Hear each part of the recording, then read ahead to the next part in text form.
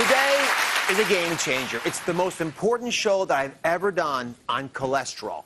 Now, you're about to meet the controversial doctors who say that everything we have been taught about cholesterol is wrong, that it doesn't cause clogged arteries or heart disease or even matter.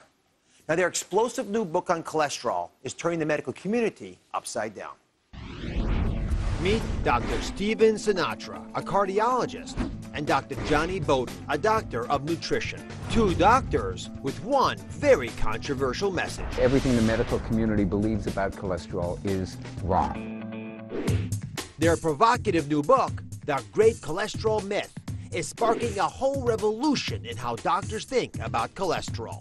The idea that cholesterol causes heart disease is a lie. Most people are worried about how high their cholesterol is, but the higher your cholesterol, the longer you'll live.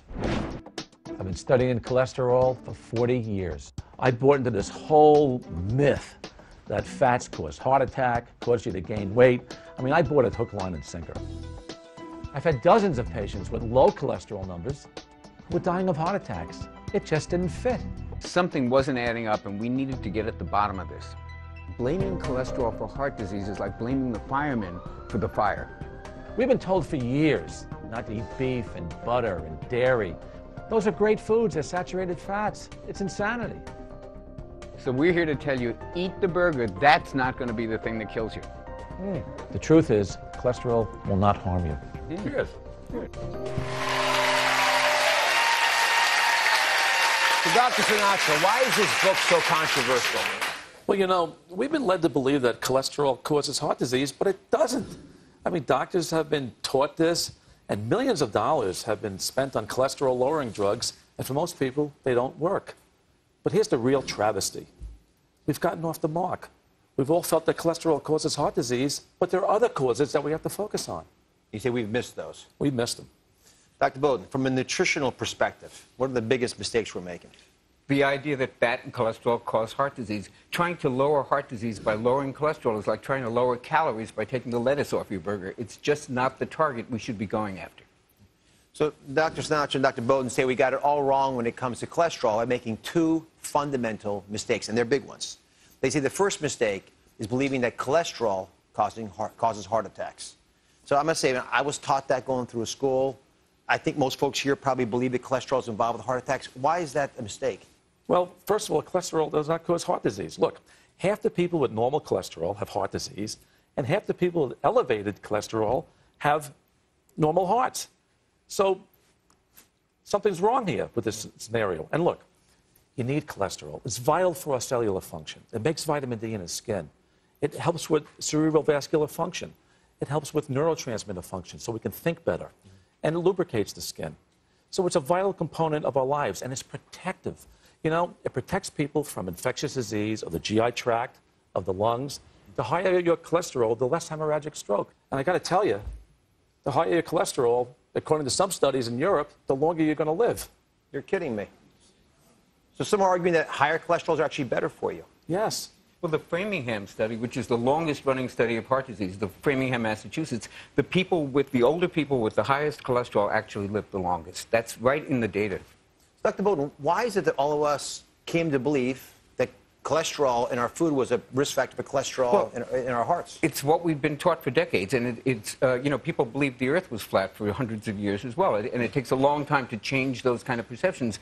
We've been taught this based on some research that was done in the 60s and 70s, which has since been shown to be extremely faulty. That research couldn't even get published today. It's been taken apart, but most well-meaning doctors who have no time anyway just don't have time to actually read the details of the research because in that research it shows pretty clearly that cholesterol doesn't really lead to heart disease. It's a bad predictor. So I thought long and hard as we're getting ready for this show about how to explain this to all of you. So I'm about to show you why this book is so controversial and at its core, why it's causing such a debate among heart doctors, general practitioners, and confusing all of you. Now, at the center of the debate is this important question. Are the, are the traditional cholesterol tests that we do even relevant? Let me start there. To do this, I got to demonstrate what we think cholesterol is and what it does in your body. So, vitally important information. I'm going to go through it at a reasonable pace so we can all understand this. And this is what the ultimate debate comes down to. This, my friends, is what cholesterol looks like, right? This cholesterol is found in your food, it's found in your body, it's goopy stuff. All right? Now, when you see this, it doesn't make you happy, right? You don't really want to have that lying around. That's what we thought for many years, especially with those studies, that in the early years of medicine were seeming so important. It turns out cholesterol is carried in two forms. It's carried in a form where it's protected. This is called healthy or HDL cholesterol. Right? Because it's in a good spot, uh, it has special characteristics. It doesn't rupture. The lousy LDL cholesterol doesn't have this protective case around it. Why does that matter? Because when you go into your blood vessel, and this is what the blood vessel looks like, if you've got the healthy kind of cholesterol in this nice casing, protected, and you go down the artery and you bang into the artery, nothing happens. It doesn't matter that it banged into the artery because the cholesterol is hidden in these balloons, and the balloons are in this case. It's carried in a way that doesn't allow it. This kind of cholesterol ends up being good for you. That's why healthy cholesterol numbers end up not being a risk factor. In fact, it's a good cholesterol to have. But here's the problem you take some of these cholesterols, right, these kinds of cholesterols that are carried in a lousy form, this sort of flimsy form here, and you take these and you try to pass these down the blood vessel, and watch what happens. It all of a sudden splatters all over the place. And now you have plaques deposited through here that are causing all kinds of problems, gumming up your arteries. That's the fundamental difference between how cholesterol is carried inside your body. Now, I think it's vitally important to know cholesterol numbers. That's my perspective. But my colleagues, these doctors, will argue that it's not the full story. So, Dr. Sinatra, I want to go through this slowly for the audience because we've been asking people to get their cholesterol numbers tested. Right. And I just explained why the total cholesterol doesn't matter, right? We showed that. It's how it's carried that matters. But what else am I missing here with this demonstration? Well, the root cause of heart disease is inflammation. I mean, inflammation causes that plaque. And what causes inflammation? Well, it's how much we weigh, what we put into our body. And sugar is the enemy. Sugar is the villain. And when you have sugar in your blood, when you rub those balloons, it creates plaque. It creates oxidative stress and plaque. And that plaque hits the, the, the, the food substance, and the sugar causes all that gunk in the vessels. You get an enormous insulin response. It's that simple. Well, you know, this brings us to a huge problem, folks, right? Because we've used cholesterol numbers to guide us in giving you cholesterol-lowering drugs, like the statin drugs, those you know, many drugs, Lipitor, Mevacor, all those drugs that we give you. And it turns out, Dr. Sinatra, Dr. Bowden argue the second cholesterol mistake is believing that statins are safe and will prolong your life. Now, this is incredibly controversial. Hmm. So why don't you think they work, and why do you think they're unsafe?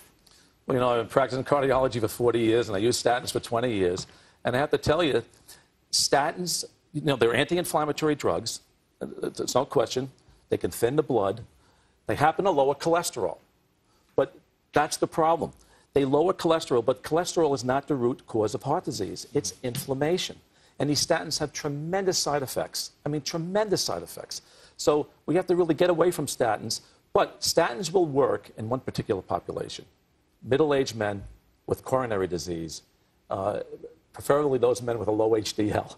So statins have some utility, but for the general population, especially women And children. and children, I don't prescribe statins at all. None. None. Do you have no women in your practice who are on statin drugs? I might have less than 1% of women uh, in my practice on statin drugs. Who here, if I can ask among the women, who, who's on a statin drug? Put your hands up. I mean, there, there's a dozen people just in this section of the audience here. So your guess would be, if they were in your practice, they would not be on No, statin drugs. and the most common consult I saw for years was women in their 30s and 40s that would come into my office and say, Dr. Sinatra, I'm on this cholesterol lowering drug. Can I get off? I would take them off immediately. They'd be crying, they'd be hugging me because they were told that they were going to die with high cholesterol, and nothing is farther from the truth. I'm, just, I'm flabbergasted. I didn't realize less than 1% of women in your practice, In my practice, are on statin, statin drugs. drugs. Well, let me ask you this then. In general, if they tend to be safe, I mean, I know you say they have side effects, but I didn't realize they're as, as commonly reported to cardiologists as, as you're making it seem, then they would seem to be a relatively easy thing to give patients. Am I missing the boat there? No, they're easy to give patients, and that's the problem. But the side effect profile is enormous. You know, the Women's Health Initiative in postmenopausal women showed a 48% incidence of diabetes on those women on statin drugs. And younger women in the Jupiter study can have a 13% in- incidence. So women got to be really careful about statin drugs, and they can also predispose you to cancer as well. So I am dreadfully concerned about statin drugs. Can I? Yes, please, Dr. Um, you know, the child's brain is not fully grown until age 25. The cerebral cortex isn't finished growing. We need cholesterol for memory, for thinking, for sex hormones. The idea of putting children on cholesterol-lowering drugs is just the greatest tragedy waiting to happen. It's a bad idea. Well, it's happening a lot. I know. But can I go back for one second? Because I'm, I'm, I'm blown away by these side effects you're reporting. So you- you're, you're saying there's data that statin drugs cause diabetes Correct? and cancer? And cancer, and coronary calcification, memory loss, sexual dysfunction, muscle pain, liver problems. Well, why don't we hear about these more? Because they're grossly underreported. They are so grossly underreported, it's unbelievable. There was a, a tremendous study which actually surveyed doctors and looked at the side effects being reported. 65% of doctors never reported it to MedWatch because they didn't believe it was associated with statin drugs. Well, Dr. Bowden, if we're not going to use statins, then, then what would you recommend to folks if they wanted to deal with the risk of heart attack and blockages you just showed here? I, I talk about things that will keep the heart healthy, not just keep your cholesterol lower. Lowering inflammation, which you can do with foods and fish oil and certain supplements, but certainly with anti inflammatory foods. Uh, getting rid of toxic relationships, lowering stress in your life, uh, getting some sunshine and some vitamin D, and being out in the, in the, and getting some exercise. All these things keep the heart healthy. And keeping the heart healthy is not the same as lowering cholesterol. So before I give my thoughts on statins, uh, I, I, I want to just say I, I think we can agree that food can be a potent option. Huge. We're going to, when we come back, I'm going to talk about the food prescription to reduce inflammation in your heart and how to do it naturally. So stay with us. We're talking to the authors of the controversial new book about cholesterol. Now, there's a cutting edge cholesterol test that we actually agree together could predict your risk of a heart attack. It's a test that's called a particle size test, a particle size test. And it measures specifics about the bad cholesterol in your body. So, Dr. Sinatra, why should you be asking your physician about this test? This is a very important test, and it's leading edge science. And we talked about it in our book, and we, do, we really did a good job in this because it's a little bit confusing. Let me explain. The particle size is LDL, but not all LDL is harmful. Let me give you an example. That large particle, LDL, it's fluffy, it's large, it can't get into the artery wall. It's not going to do anything, so who cares? This is an AB particle. That's an A. Now, this is a B particle. This is what we call a BB shot particle.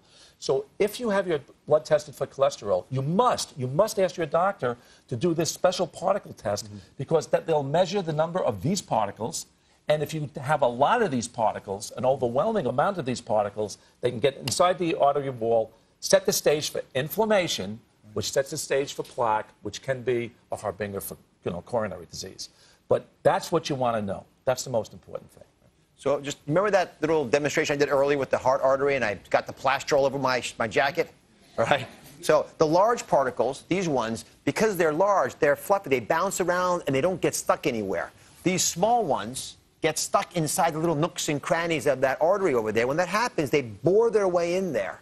And by doing that, they, they like grenades. They explode, creating all this inflammation. That contributes fundamentally to the plaque and to the risk of the heart attack. This is the big change in how we think about the role of cholesterol in your life. So, how do folks find these tests? What do they cost? Actually, there's lots of different manufacturers. All they have to do is go to their doctor and say, Can I get the particle size test for my LDL cholesterol? Because remember, not all LDL is bad. The television set, calls it a bad cholesterol. This is healthy cholesterol. This is bad cholesterol. And it only costs between $10 and $100, and most insurances cover it as well. So, you you know what you're getting, right? Particle size tests. Particle. We got clear on this. Here's my bottom line in cholesterol. If you don't have a heart problem and your doctor wants to give you a statin, especially if you're a woman, I want you to push back. And in particular, I want you to ask for this LDL particle size test that you just learned about here. It's a test that's available everywhere. Mm-hmm. Go get the test. If your LDL cholesterol, the lousy cholesterol, and it matters to me what that number is, we're going to keep checking that on the show. And that's what you're going to get checked when you go to your doctor anyway. If it is high, you should worry about your heart, but don't just panic. You should actually then push to make sure you get this particle test done so you know if it's a big deal or not for you before you're put on medications. In the meantime, don't forget what Dr. Bowden said. It's your sugar in your diet that's the problem. It's even worse of an issue than the fat in your diet. So you got a little bit more freedom to eat some of the foods you love, but be really strict on the sugars. That's where the problem is, not just for your heart, but for your waist as well. Did I get it right? You got, it, got it so right. right. Oh, finally. All right. Up next, secrets to boost your energy and to stop overeating. Stay with us. Great job. Great job.